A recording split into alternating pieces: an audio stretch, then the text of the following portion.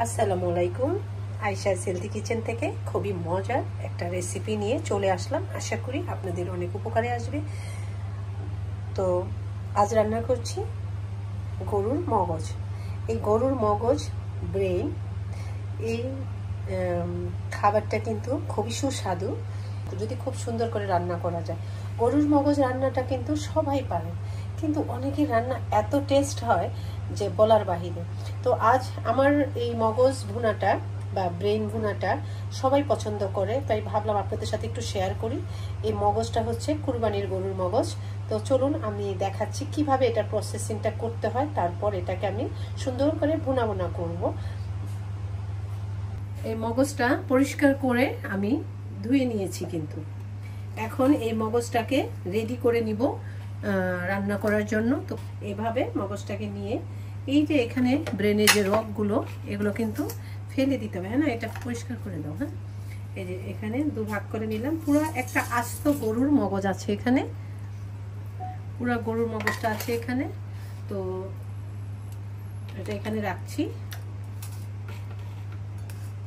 আর এই দেখুন, এখানে এই রগগুলোকে আমি ফেলে দিচ্ছি সুন্দর করে। এই যে হাত দিলে কিন্তু এটা উঠে যাবে রগগুলো। দেখুন, একটা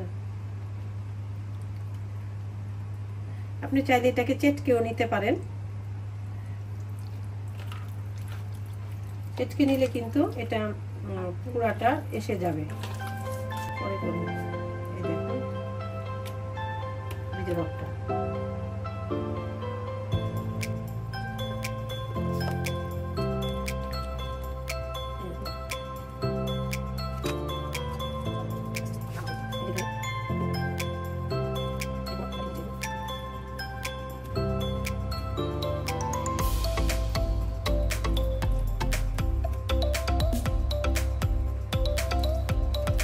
এই তো দেখুন আমার চেটকে সব রকগুলো ফেলে দেওয়া হয়েছে।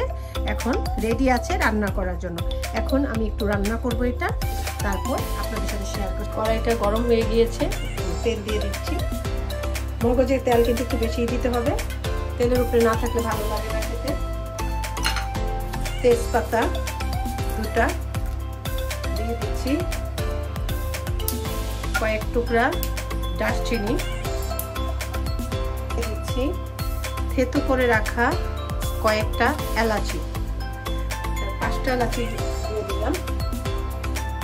পাঁচটা লং ক্লভস পাঁচটা ক্লভস দিয়ে দিয়েছি। আর আট দশটা গোলমরিচ দিয়ে দিলাম। ভাজা ভাজা হওয়ার পর এখানে আমি দিয়ে দিচ্ছি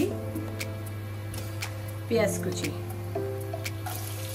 সবটুকি লাগবে, কারণ পুরা একটা গরুর পুরা মগজটাই আমি নিয়ে নিয়েছি। তাই লাগবে। হ্যাঁ কি মনে করো আরেকটু বেশি দিতে হবে? ঠিক আছে না?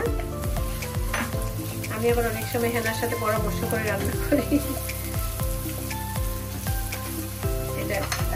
এই মশলাগুলো আমি পরে দিব আবার। একটু লবণ দিয়ে দিচ্ছি। এক চার চামচ পরিমাণ লবণ দিয়ে দিলাম।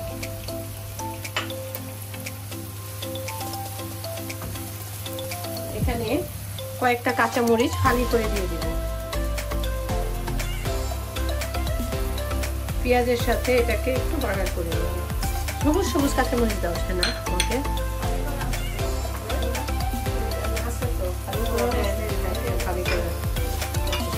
এখানে ফালি করে রাখা আছে কাঁচামরিচগুলো। আমি এখানে কয়েকটা কাঁচামরিচ দিয়ে দিলাম। ফ্লেভার এবং ঝালটা আছে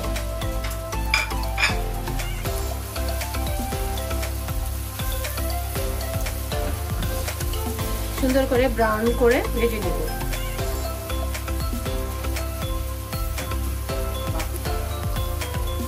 এখন আমি দেখি পেঁয়াজটা। পেঁয়াজটা দেখুন, কাঁচা গন্ধ চলে গিয়েছে, যদিও এটা ব্রাউন ব্রাউন হয়নি, তারপরও এটা অনেকটা ভাজা ভাজা হয়ে এসেছে। এখন আমি এখানে রসুনের পেস্ট দিয়ে দিব, রসুনটাকে একটু পেঁয়াজের সাথে বাগার করে নেব আর কি। রসুন দিয়ে দিচ্ছি এক চা চামচ। আদাটা এখনই দিব না কারণ আদাটা দেওয়ার সাথে সাথে এটা কড়াইতে লেগে যাবে। এই জন্য আদাটা পরে দিব রসুনটা দিয়ে দিলাম। আরও হাফ চা চামচ আমি রসুন বাটা দিয়ে দিলাম। টোটাল এক চা চামচ রসুন বাটা দিয়েছি। হ্যাঁ ঠিক আছে? হ্যাঁ। কি খুশি। আমার হ্যানাকে জিজ্ঞাসা করছি।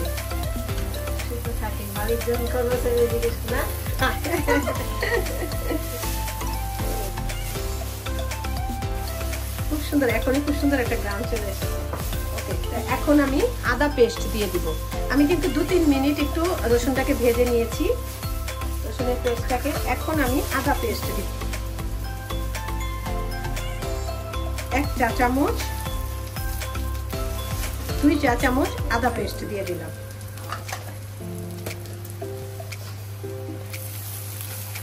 হ্যাঁ ঠিক আছে? আমার টিচার হ্যাঁ ঠিক আছে? হ্যানা খুশি হয় হ্যানাকে জিজ্ঞাসা করলে, বুঝছ কারণ হ্যানাই রান্না করে তো, আমি খুব কম রান্না রান্না করি। তো যখন আমি আবার জিজ্ঞাসা করি হ্যানা খুব খুশি হয়, কারণ হ্যানার কাজটা আমি নিয়ে নিয়েছি। তো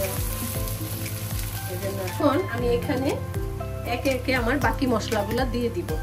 এখন দিব হলুদের গুঁড়ো, এক চা চামচ।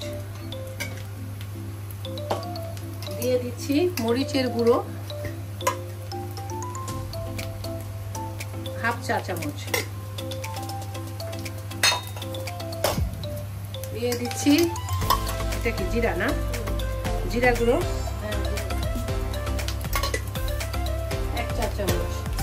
ধনিয়ার গুঁড়াটা একটু বেশি দিতে হবে কিন্তু। একটা, দুইটা। দুই চা চামচ আমি ধনিয়ার গুঁড়ো দিয়ে দিলাম। কেন আমাকে একটু গরম পানি করো এখন মশলাটাকে একটু ভালো করে আমি কষিয়ে দিই এখানে রাখো, আমি দিচ্ছি।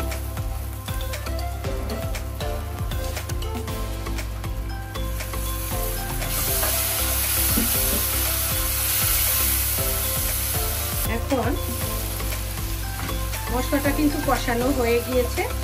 এই অবস্থায় আমি এখানে এই ব্রেনটাকে দিয়ে দিব। গরুর ব্রেন বা মগজ যেটা বলেন সেটা দিয়ে দিলাম।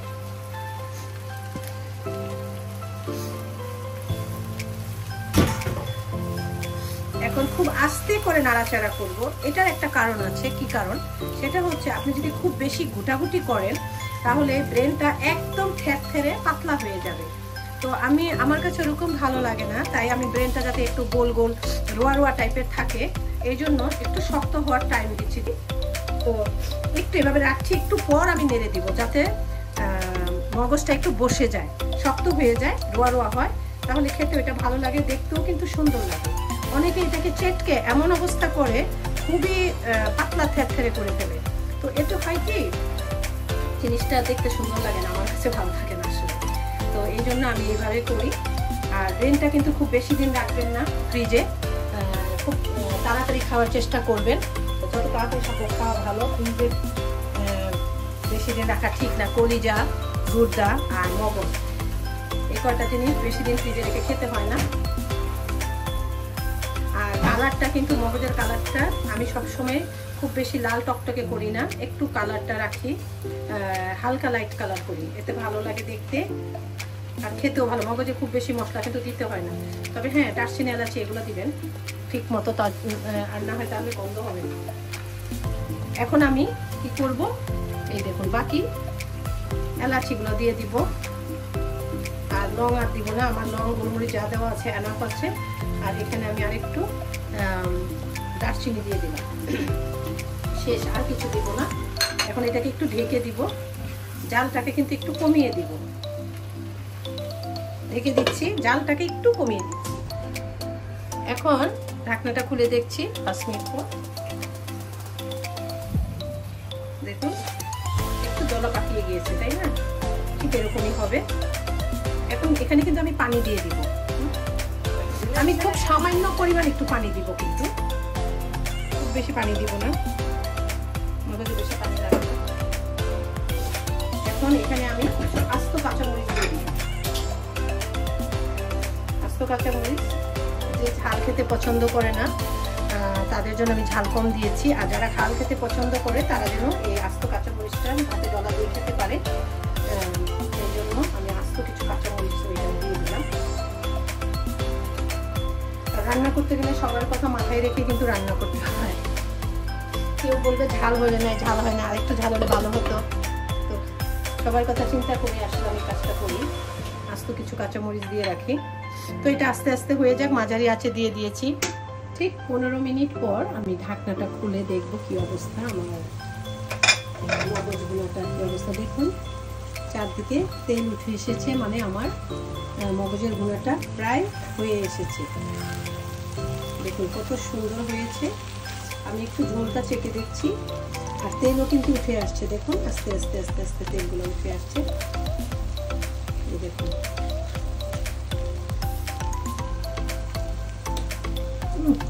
অসাধারণ। খুবই মজা হচ্ছে খুবই মজা হচ্ছে আমি আর কি বলব? অবশ্যই আপনারা আমার রেসিপিটাকে ফলো করে কিন্তু রান্না করবেন। আমি যেভাবে যেভাবে করেছি, যা যা মশলা দিয়েছি, ঠিক সেম করবেন। একটা পুরো আস্ত গরুর মগজ যদি পায়। আর যদি আপনারা হাফ মগজ নিয়ে থাকেন, তাহলে আমার মশলার পরিমাণটা হাফ হয়ে যাবে। আর দেখুন, মগজের টুকরোগুলো টুকরো টুকরো অবস্থায় কিন্তু আছে। আমি চেয়েছি এভাবেই টুকরো টুকরো অবস্থায় রাখতে। অনেকে এটাকে একদম গালিয়ে ফেলে, গালিয়ে একদম বত্তা বত্তা করে ফেলে, একদম মানে একদম লিকুইড হয়ে যায়। ওতে খেতেও ভালো লাগে না। দেখুন, রোয়া রোয়া হিসাবে আছে। মগজ গুঁড়াটা হয়ে গিয়েছে।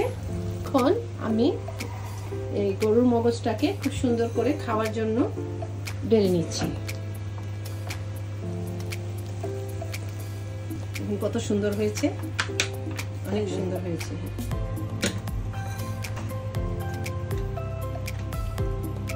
দেখুন দেখেই কতটা লোভনীয় লাগছে। তাহলে খেতে কেমন লাগবে বলুন? অনেক মজা হবে, অনেক। আমি একটু একটু টেস্ট করে দেখেছি, খুবই মজা হয়েছে। দারচিনিগুলো কিন্তু ফেলে দিবেন। অবশ্যই খাওয়ার সময় পেয়ালায় দারচিনি রাখবেন না, এতে খুবই বিরক্ত লাগে। এই তো হয়ে গেল দারুণ মজার গরুর মগজ বোনা আশা করি ভালো লেগেছে।